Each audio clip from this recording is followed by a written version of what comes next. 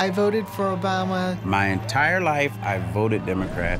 I'm a registered independent. I needed some kind of hope. We voted for Barack Obama. People were desperate. I don't think that I got what I was expecting.